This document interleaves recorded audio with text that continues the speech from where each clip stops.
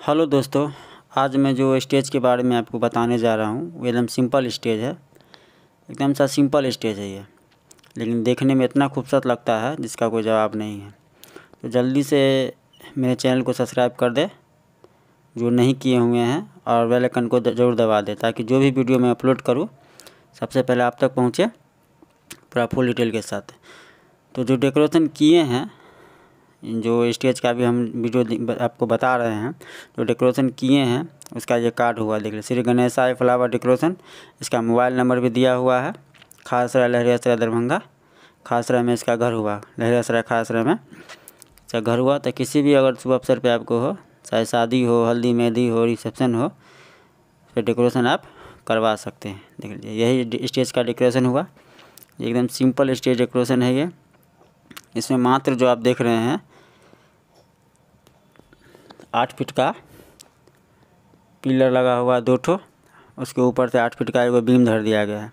और दोनों साइड से सात बाय चार, सात बाय तीन का बीम है। देख लीजिए। मैं आपको दिखा दूँ, दोनों साइड से सात बाय तीन का बीम है। नीचे जो आप देख रहे हैं, पूरा में जो पत्ता जो लगा हुआ है पत्ता का पेड़ बना दिया गया है। लोहा का स्टैंड बना करके पत्ता को इसमें जो है चिपका दिया गया है। देख रहे हैं, आठ फीट का दोनों साइड से बीम दे करके ऊपर से आठ फीट का बीम चढ़ा दिया गया बी सेंटर में।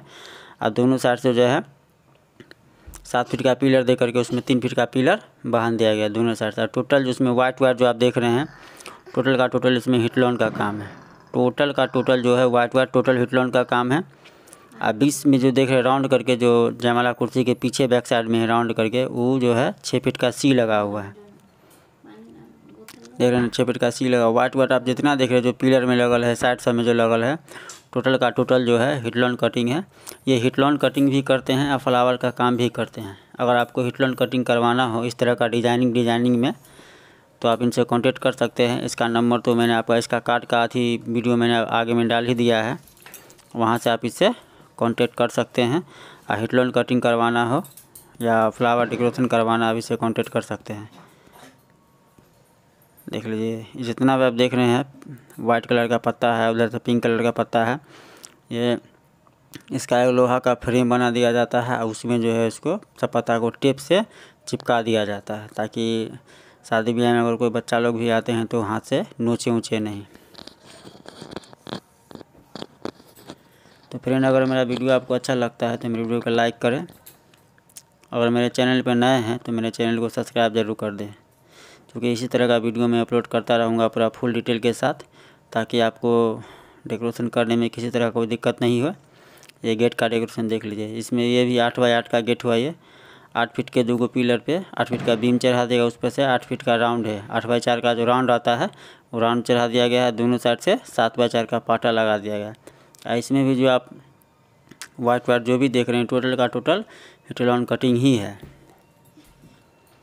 मैं बार बार इसलिए कर रहा हूँ कि अगर किसी तरह का हिटलॉन कटिंग अगर आप करवाना चाहते हैं, चाहे वो पाटा का हो या पिलर का हो या गेट का हो, कोई भी डिज़ाइन का हिटलॉन कटिंग करवाना चाहते हैं तो आप इनसे कांटेक्ट कर सकते हैं। इनका तो मोबाइल नंबर दिया ही गया है वीडियो में। इसे कांटेक्ट करके इनसे बात कर सकते हैं।